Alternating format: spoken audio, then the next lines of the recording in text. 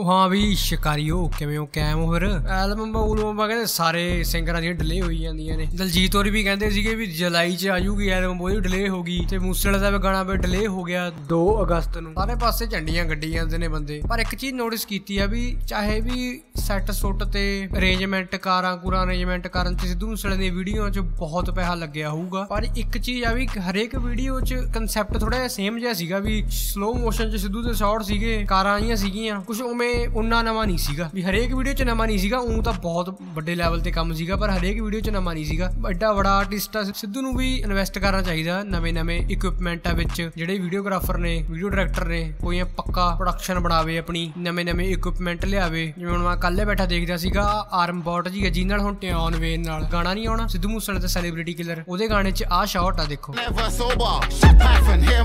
ਇਹ ਰੋਬੋਟਿਕ ਆਰਮ ਦਾ ਉਹੀ ਫਾਇਦਾ ਵੀ ਸੇਮ ਐਗਜ਼ੈਕਟ ਉਹੀ ਮੂਵਮੈਂਟ ਦੋ ਵਾਰ, ਤਿੰਨੀ ਵਾਰ, ਚਾਰ ਵਾਰ, ਪੰਜ ਵਾਰ ਕਰੋ। ਪਹਿਲਾਂ ਇਹਨਾਂ ਨੇ ਕੀ ਕੀਤਾ ਹੋਣਾ? ਆ ਜਿਹੜਾ ਮੂਰਲਾ ਬੰਦਾ, ਇਹਨੂੰ ਗ੍ਰੀਨ ਸਕਰੀਨ ਤੇ ਖੜਾ ਕੇ ਆ ਸ਼ਾਟ ਲੈ ਲਿਆ ਤੇ ਬਾਅਦ ਚੋਂ ਉਹੀ ਸ਼ਾਟ ਸੇਮ ਆ ਬੰਦੇ ਪਿੱਛੇ ਜਿਹੜੇ ਸੀਗੇ, ਇਹਨਾਂ ਨੂੰ ਖੜਾ ਕੇ ਲੈ ਲਿਆ। ਤੇ ਬਾਅਦ ਚੋਂ ਫਿਰ ਉਹ ਗ੍ਰੀਨ ਸਕਰੀਨ ਚੱਕ ਕੇ ਸ਼ਾਟ ਮਿਕਸ ਕਰਤਾ ਇਹਨਾਂ ਨਾਲ। ਇਹ ਸਿਸਟਮ ਹੋਇਆ ਦੇਖ ਲਓ। ਆ ਇੱਥੇ ਆ ਦੇਖੋ, ਇੱਥੇ ਜ਼ੂਮ ਕਰਦੇ, ਇੱਥੇ ਪਤਾ ਲੱਗਦਾ ਵੀ ਗ੍ਰੀਨ ਸਕਰੀਨ ਆ। ਕਿਉਂਕਿ ਗ੍ਰੀਨ ਸਕਰੀਨ ਤੇ ਜ਼ਿਆਦਾ ਮੋਸ਼ਨ ਮੋਸ਼ਨ ਜ਼ਿਆਦਾ ਕਰਦੇ ਆ ਨਾ ਗ੍ਰੀਨ ਸਕਰੀਨ 'ਚ, ਦਿਖਣ ਲੱਗ ਜਾਂਦਾ। ਹਾਲੀਵੁੱਡ ਮੂਵੀਆਂ 'ਚ ਹੁੰਦਾ ਗ੍ਰੀਨ ਸਕਰੀਨ ਰਿਮੂਵ ਕੀਤੀ ਹੁੰਦੀ ਆ, ਉਹ ਥੋੜਾ ਜਿਹਾ ਕਾਫੀ ਵੱਡੇ ਲੈਵਲ ਤੇ ਕੰਮ ਕੀਤਾ ਹੁੰਦਾ। ਉਹ ਜ਼ਿਆਦਾ ਪੈਸੇ ਲੱਗਦੇ ਆ ਸਿਸਟਮ ਪ੍ਰੋਡਕਸ਼ਨ ਹਾਊਸ ਬੜੇ ਹੁੰਦੇ ਨੇ, ਲਾਈਟਾਂ ਲੂਟਾਂ ਬਹੁਤ ਸਿਸਟਮ ਜਿਹਾ ਹੁੰਦਾ, ਸਮਝਦੇ ਨਹੀਂ ਸੀ ਜਿਹੜੇ ਮੈਕੈਨਿਜ਼ਮ ਤੇ ਇਹ ਕੈਮਰਾ ਲੱਗਦਾ ਨਾ ਉਹਨੂੰ ਕਹਿੰਦੇ ਆ ਰੋਬੋਟਿਕ ਕੈਮਰਾ ਆਰਮ ਠੀਕ ਆ? ਤੇ ਜ਼ਿਆਦਾ ਇੱਕ ਕੰਪਨੀ ਦਾ ਬੋਲਟ ਕੰਪਨੀ ਦਾ ਆਉਂਦਾ ਇੱਕ ਕਾਇਰਾ ਕੰਪਨੀ ਦਾ ਆਉਂਦਾ ਆਹ ਦੇਖੋ, ਪਹਿਲਾਂ ਤੁਸੀਂ ਗਿੱਪੀ ਰਾਲ ਦਾ ਕਾਰ ਨੱਚਦੀ ਗਾਣਾ ਸੁਣਿਆ ਹੋਊ, ਉਹ ਚ ਵੀ ਆਹ ਇਫੈਕਟ ਆ। ਇੱਕ ਤਾਂ ਮੈਂ ਐਂਗਲ 'ਚ ਚੇਂਜ ਹੁੰਦੇ ਆ, ਇਹ ਕੋਈ ਇਕਵਿਪਮੈਂਟ ਜਿਹੜੇ ਅੱਜ ਤੱਕ ਹੋਰ ਨਹੀਂ ਬਣੇ, ਵੀ ਇਹ ਚੀਜ਼ ਹੋ ਸਕੇ। ਇਹ ਸਿਰਫ ਆ ਬੋਟ ਕੈਮਰੇ ਕਰ ਸਕਦੇ ਨੇ। ਜਾਨੀ ਐਡੀਟਿੰਗ ਵੱਲ ਤੇ ਇਕਵਿਪਮੈਂਟ ਜਿਹੜੇ ਨਵੇਂ ਆਉਂਦੇ ਨੇ ਨਾਲ ਦੀ ਨਾਲ, ਉਧਰ ਵੀ ਖਿੱਚਣਾ ਚਾਹੀਦਾ ਕੰਮ ਸਿੱਧੂ ਨੂੰ। ਕਿਉਂਕਿ ਜਿਹੜੀ ਬਾਹਰਲੀ ਆਡੀਅנס ਸੁਣਦੀ ਆ, ਜਾਂ ਉਹ ਬੀਟ ਦੇਖਦੀ ਆ ਫਲੋ ਸੁਣਦੀ ਹੈ, ਕਿਉਂਕਿ ਉਹਨਾਂ ਨੂੰ ਲਿਰਿਕਸ ਸਮਝ ਨਹੀਂ ਲੱਗਦੇ, ਜਾਂ ਬੀਟ ਸੁਣਦੀ ਆ, ਜਾਂ ਫਲੋ ਜੇ ਸੁਣਦੀ ਆ ਵੀ ਕਿਵੇਂ ਵੀ ਐ ਲਾਈ ਜਾ ਰਿਹਾ ਬਾਈ, ਵੀ ਬੀਟ ਦੇ ਨਾਲ ਦੀ ਨਾਲ ਖਿੱਚੀ ਜਾ ਰਿਹਾ ਕੰਮ, ਜਾਂ ਵੀਡੀਓ ਦੇਖਦੀ ਆ। ਵੀਡੀਓ ਦੇ ਵਿੱਚ ਉਹਨਾਂ ਕੁਝ ਹੁੰਦਾ ਨਹੀਂ, ਜਿਵੇਂ ਸਲੋ ਮੋਸ਼ਨ ਸ਼ਾਟ ਹੁੰਦੇ ਨੇ ਜ਼ਿਆਦਾਤਰ, ਤਾਂ ਕਰਕੇ ਇਹ ਚੀਜ਼ ਮੈਂ ਨੋਟਿਸ ਕੀਤੀ ਸੀਗੀ, ਆਪਾਂ ਦੱਸਤੀ। ਬਾਕੀ ਇੱਕ ਲਿਲੂ ਜ਼ੀਵਰਟ ਆ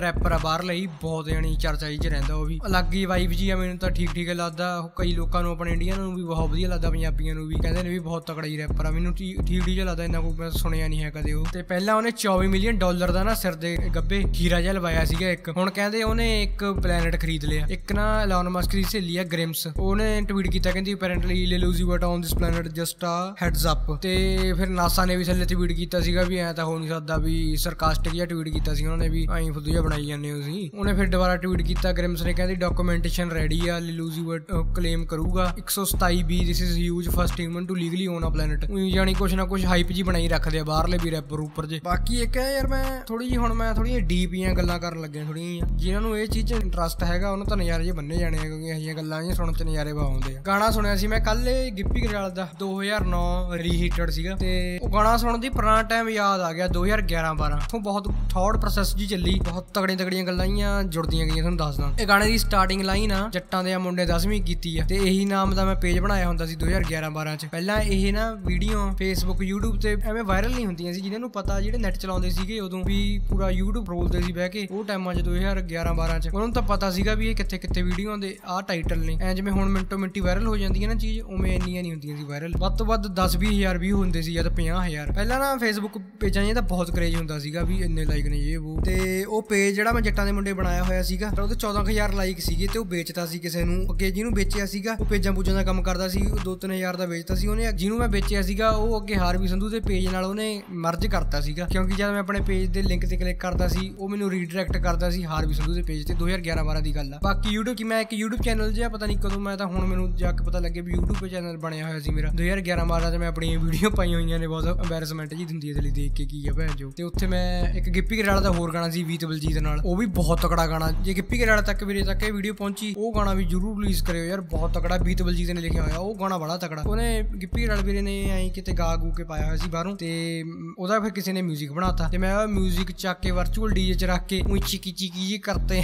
ਸਿਸਟਮ ਜਿਹਾ ਲਾ ਕੇ ਪਾਤਾ ਵੀ ਮੈਂ ਰੀਮਿਕਸ ਕੀਤਾ। ਯਾਰ, ਮੈਂ ਫੀਲਿੰਗ ਜੀ ਬਹੁਤ ਲੈਂਦੇ ਹੁੰਦੀ ਸੀ ਮੈਂ ਕੁਛ ਨਾ ਕੁਛ ਪਾਤਾ ਨੈਟ ਤੇ। ਉਦੋਂ ਮੈਂ ਸ਼ਾਇਦ ਜਦ 11 12 13 14 ਇੰਨੇ ਸਾਲ ਦਾ ਹੋਊਗਾ। ਤੇ ਉਦੋਂ ਨਾ ਇੱਥੋਂ ਗੱਲ ਆਪਣੀ ਸ਼ੁਰੂ ਹੁੰਦੀ ਹੈ ਜਿਹੜੀ ਮੈਂ ਤੁਹਾਨੂੰ ਮੇਨ ਦੱਸਦਾ ਵੀ ਥੌਟ ਪ੍ਰੋਸੈਸ ਜੁੜਿਆ ਅੱਗੇ ਅੱਗੇ ਸਿਸਟਮ ਹੋਰ ਨਾਲ। ਤੇ ਉਦੋਂ ਜਿਹੜੇ ਜਵਾਕ ਹੁੰਦੇ ਸੀ 11 12 13 ਸਾਲ ਦੇ ਇੰਨੇ ਕੁ ਫੋਨ ਜਾਂ ਕੰਪਿਊਟਰ ਚਲਾਉਂਦੇ ਸੀਗੇ, ਤਾਂ ਉਹਨਾਂ ਨੂੰ ਵੱਡੀ ਉਮਰ ਦੇ ਲੋਕ ਦੇਖ ਕੇ ਕਹਿੰਦੇ ਹੁੰਦੇ ਸੀਗੇ ਵੀ ਕਿੰਨੇ ਤੇਜ਼ ਜਵਾਕ ਨੇ ਵੀ ਸਾਨੂੰ ਤਾਂ ਵੀ ਹਜੇ ਤੱਕ ਦੀ ਫੋਨ ਚਲਾਉਣਾ ਆਇਆ ਵੀ ਕੰਪਿਊਟਰ ਨਹੀਂ ਚਲਾਉਣਾ ਆਇਆ ਇਹ ਦੇਖ ਲੈ ਕਿਵੇਂ ਕਿਵੇਂ ਚਲਾਉਂਦੇ ਫਿਰਦੇ ਆ। ਐਂ ਗੱਲਾਂ ਕਰਦੇ ਹੁੰਦੇ ਸੀ ਬੜੇ ਲੋਕ। ਤੇ ਉਹੀ ਚੀਜ਼ ਹੁਣ ਜੇ ਅੱਜ ਦੇ ਟਾਈਮ 'ਚ ਲਾਗੂ ਕਰੀਏ ਤਾਂ ਉਹ ਏਜ ਗੈਪ ਘਟ ਕੇ ਹੁਣ 5 6 7 ਸਾਲ ਦੇ ਜਵਾਕਾਂ ਤੱਕ ਚਲੇ ਗਿਆ। 5 6 7 ਸਾਲ ਦੇ ਜਵਾਕ ਵੀ ਫੁੱਲ ਫੋਨ ਚਲਾਉਂਦੇ ਨੇ ਹੁਣ ਸਾਰਾ ਦੇਖ ਲਓ ਪਤਾ 8 9 ਸਾਲ ਦੇ ਕੰਪਿਊਟਰ ਵੀ ਚਲਾਉਣ ਲੱਗ ਜਾਂਦੇ ਨੇ। ਉਹੀ ਗੱਲ ਆ ਵੀ ਹੁਣ ਆਪਾਂ ਕਹਿੰਦੇ ਆ ਵੀ ਸਾਨੀ ਆ ਉਮਰ 'ਚ ਸਾਨੂੰ ਤਾਂ ਅਕਲ ਨਹੀਂ ਸੀਗੀ ਵੀ 13 14 ਸਾਲ ਦੀ 'ਚ ਤਾਂ ਵੀ ਇਹ ਤਾਂ 5 6 ਸਾਲ 7 'ਚ ਫੋਨ ਫੋਨ ਚਲਾਉਣ ਲੱਗ ਗਏ। ਉਹੀ ਆ ਜਿਹੜੀ ਹੁਣ ਟੈਕਨੋਲੋਜੀ ਵਧੀ ਆ, ਉਹਦੇ ਨਾਲ ਨਾ ਕੌਨਸ਼ੀਅਸਨੈਸ ਦਾ ਲੈਵਲ ਵੀ ਕਾਫੀ ਛੋਟੀ ਉਮਰ ਤੋਂ ਹੀ ਵਧਣ ਲੱਗ ਗਿਆ ਜਵਾਕਾਂ ਦਾ। ਤੇ ਇੱਕ ਗੱਲ ਹੋਰ ਆ ਵੀ ਜਿਹੜਾ ਡਾਟਾ ਦੀ ਬੈਂਡਵਿਡਥ ਦਾ ਨਾ, ਜਿਵੇਂ ਹੁਣ ਸਮਝ ਲਓ ਵੀ ਡਾਟਾ ਕੋਈ ਵੀ ਚੀਜ਼ ਜੇ ਤੁਸੀਂ ਮਤਲਬ ਇੰਟਰਨੈਟ ਤੋਂ ਦੇਖਦੇ ਹੋ ਡਾਟਾ ਹੀ ਆ ਜੇ ਕੋਈ। ਤਾਂ ਪੜ੍ਹਦੇ ਹੋ ਇੱਕ ਤਰ੍ਹਾਂ ਦਾ ਡਾਟਾ ਹੀ ਅੰਦਰ ਬਾੜਦੇ ਹੋ ਤੁਸੀਂ ਜਾਨੀ ਇਨਫੋਰਮੇਸ਼ਨ ਲੈ ਰਹੇ ਹੋ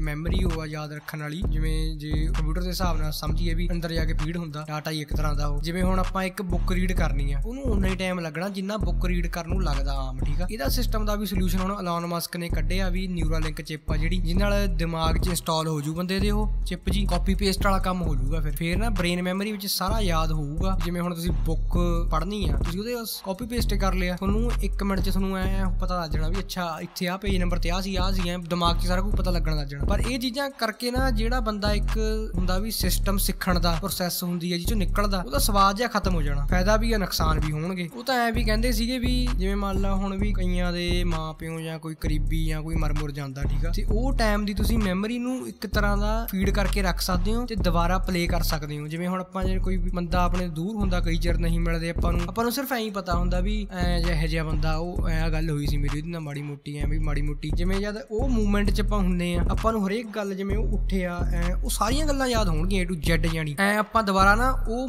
ਮੂਵਮੈਂਟ ਨੂੰ ਜਿਵੇਂ ਮਿਸ਼ਨ ਲੋਡ ਕਰ ਲਿਆ ਵੀ, ਜੇ ਉਹ ਲੋਡ ਕਰ ਲਿਆ, ਉਹ ਦੁਬਾਰਾ ਮੈਮਰੀ ਲੋਡ ਕਰ ਸਕਾਂਗੇ। ਐਡੇ ਚੱਕਰ ਜੇ ਸਾਲੇ ਚੱਲੀ ਜਾਂਦੇ ਆ, ਦੇਖ ਲਓ। ਇਹ ਚੀਜ਼ਾਂ ਹੋਣੀਆਂ ਨੇ ਹੁਣ, ਦੇਖ ਲਓ। ਇਹ ਚੀਜ਼ਾਂ ਲਈ ਤਿਆਰ ਰਹਿਣਾ ਪੈਣਾ ਆਪਾਂ ਨੂੰ। ਜਿਵੇਂ ਐਲਨ ਮਸਕ ਕਹਿੰਦਾ ਸੀਗਾ ਵੀ, ਜੋ ਰੋਗਨ ਜਿਹੜਾ ਪੋਡਕਾਸਟ ਕਰ ਰਹੇ ਸੀਗੇ, ਉਹ ਕਹਿੰਦਾ ਸੀਗਾ ਵੀ, ਜਿਹੜੇ ਨੇ ਪਹਿਲਾਂ ਚਿਪ ਲਵਾ ਲਈ, ਵੀ ਉਹ ਤਾਂ ਦੁਨੀਆ ਤੋਂ ਬਹੁਤ ਅੱਗੇ ਨਿਕਲ ਜਾਣਗੀਆਂ, ਦੁਨੀਆ ਦੀ ਸਾਰੀ ਇਨਫੋਰਮੇਸ਼ਨ ਗੈਦਰ ਕਰ ਲੈਣਗੇ ਵੀ ਵੀ ਜਿਨ੍ਹਾਂ ਕੋਲ ਪੈਸੇ ਨਹੀਂ ਹੈਗੇ, ਉਹ ਕਿਵੇਂ ਲਵਾਉਣ? ਐਲਨ ਮਸਕ ਕਹਿੰਦਾ, ਮੈਨੂੰ ਕੀ ਪਤਾ ਵੀ ਸ਼ਾਇਦ ਲੋਨ ਲੋਨ ਲੈ ਕੇ ਲਵਾ ਲੈਣ, ਵੀ ਪਤਾ ਵੀ ਪੈਸੇ ਰਿਕਵਰ ਕਰ ਲੈਣੇ, ਇੰਨੀ ਨੌਲੇਜ ਆ ਜਾਣੀ ਆ ਵੀ ਕੁਛ ਨਾ ਕੁਛ ਕਰ ਲਾਂਗੇ। ਇਹ ਕੰਮ ਚੱਲਦਾ ਦੇਖ ਲਓ। ਇੱਕ ਦੂਜੀ ਚੀਜ਼ 'ਚ ਐਵੇਂ ਆ ਵੀ ਆਪਾਂ ਦਿਮਾਗ 'ਚ ਲੈਂਗੁਏਜ ਇੰਸਟਾਲ ਕਰ ਸਕਦੇ ਹਾਂ, ਹਰ ਲੈਂਗੁਏਜ ਸਮਝ ਸਕਦਾ ਬੰਦਾ ਫਿਰ। ਬਹੁਤ ਚੀਜ਼ਾਂ ਨੇ ਹੈਗੀਆਂ ਇੰਟਰਨੈਟ ਤੇ, ਕਿਤਾਬਾਂ ਵੀ ਇਹੋ ਜਿਹੀਆਂ ਨੇ, ਜਿਹੜੇ ਆਪਣੇ ਬੰਦੇ ਨੂੰ ਪੜ੍ਹਨੀਆਂ ਚਾਹੀਦੀਆਂ ਨੇ। ਪਰ ਉਹ ਲੈਂਗੁਏਜ ਬੈਰੀਅਰ ਕਰਕੇ ਆਪਣੇ ਬੰਦਿਆਂ ਤੱਕ ਪਹੁੰਚ ਨਹੀਂ ਸਕਦੀਆਂ। ਮੇਰਾ ਵੀ ਬਸ ਆਹੀ ਸਿਸਟਮ ਰਹਿੰਦਾ ਵੀ ਜਿਹੜੀਆਂ ਹੋਰ ਚੀਜ਼ਾਂ ਹੋ ਰਹੀਆਂ ਦੁਨੀਆ 'ਚ ਵੀ ਆਪਣੇ ਬੰਦਿਆਂ ਤੱਕ ਨਹੀਂ ਪਹੁੰਚ ਰਹੀਆਂ ਉਹ ਬੰਦਿਆਂ ਤੱਕ ਆਪਣੇ ਤੱਕ ਪਹੁੰਚਣ ਵੀ ਲੋਕਾਂ ਨੂੰ ਪਤਾ ਲੱਗੇ ਵੀ ਦੁਨੀਆ ਕਿੱਥੇ ਖੜੀ ਆ ਅੱਜ ਦੇ ਟਾਈਮ ਅਸੀਂ ਕਿੱਥੇ ਖੜੇ ਆ, ਵੀ ਆਪਾਂ ਕੀਪ ਅਪ ਕਰ ਸਕੀਏ ਦੁਨੀਆ ਨਾਲ। ਆਹੀ ਮੋਟਿਵ ਹੁੰਦਾ ਵਾ ਮੇਰਾ ਵੀਡੀਓ ਦਾ। ਆਈਆਂ ਹੋਰ ਵੀ ਬਹੁਤ ਗੱਲਾਂ ਨੇ, ਪਰ ਵੀਡੀਓ ਬਹੁਤ ਲੰਬੀ ਹੋ ਜਾਣੀ ਹੈ ਫਿਰ। ਬਾਕੀ ਆਪਣੇ ਸ਼ਿਕਾਰੀ ਗੈਂਗ ਦੇ ਮੈਂਬਰ ਸਪੋਰਟ ਦਿਖਾ ਰਹੇ ਆ ਪੂਰੀ ਵੀਰੇ। ਬਾਲੀਓ ਸਪੋਰਟ ਦਿਖਾਈ ਜਾ ਰਿਹਾ, ਇੰਨੀ ਵੀ ਨਾ ਕਰਿਆ ਕਰੋ ਯਾਰ, ਤੁਸੀਂ ਆਪਣੇ ਨਜ਼ਾਰੇ ਲਿਆ ਕਰੋ ਪੈਸੇ ਪੂਏ ਇੰਨੇ ਨਾ ਲਾਇਆ ਕਰੋ। ਦੇਸੀ ਬਲੈਤੀ ਮਿਕਸ ਚੈਨਲ ਬਾਈ ਦਾ, ਇਹਨੇ ਵੀ ਵੀਰੇ ਨੇ 119 ਰੁਪਏ ਦੀ ਪਰਚੀ ਕਟਾ ਕੇ ਨਜ਼ਾਰੇ ਲਿਆਤੇ ਬਾਈ। ਧੰਨਵਾਦ ਵੀਰੇ। ਅਨੁਰਾਗਦੀਪ ਸਿੰਘ ਵੀਰਾ, ਇਹ ਵੀ ਬਹੁਤ ਘੈਂਟ ਬੰਦਾ। ਵੀਰੇ ਨੇ 119 ਰੁਪਏ ਦੀ ਪਰਚੀ ਕਟਾ ਕੇ ਅੱਤ ਦੇ ਸ਼ਿਕਾਰੀ ਦਾ ਲੈਵਲ ਲੈ ਲਿਆ। ਤੇ ਨਵੀਂ ਸਿੱਧੂ ਵੀਰੇ ਨੂੰ ਵੀ ਬਹੁਤ ਬਹੁਤ ਧੰਨਵਾਦ ਮੈਂਬਰਸ਼ਿਪ ਲੈਣ ਲਈ। ਕੋਈ ਐਂ ਜ਼ਰੂਰੀ ਨਹੀਂ ਯਾਰ ਮੈਂਬਰਸ਼ਿਪ ਲੈਣੀ ਹੈ ਤਾਂ ਵੈਸੇ ਜਿਹੜੇ ਜਿਹਨਾਂ ਨੂੰ ਲੱਗਦਾ ਹੁੰਦਾ ਨਾ ਕਿ ਵੀ ਸਪੋਰਟ ਸਪੋਰਟ ਕਰਨੀ ਆ ਉਹ ਕਰ ਦਿੰਦੇ ਆਪਣੇ ਭਰਾ। ਐ ਕੋਈ ਚੱਕਰ ਨਹੀਂਗਾ ਯਾਰ, ਕੋਈ ਪ- ਜ਼ਰੂਰੀ ਨਹੀਂ ਵੀ ਤੁਸੀਂ ਲੈਣੀ ਹੈ। ਕੋਈ ਚੱਕਰ ਨਹੀਂ ਐਡਾ ਕੋਈ ਚੱਕਰ ਨਹੀਂ ਨਜ਼ਾਰੇ ਲਓ ਤੁਸੀਂ ਜ਼ਿੰਦਗੀ ਦੇ। ਵੀਡੀਓ ਵੀਡੀਓ ਦੇਖੀ ਜਾਇਆ ਕਰੋ, ਐਸ਼ ਕਰੋ।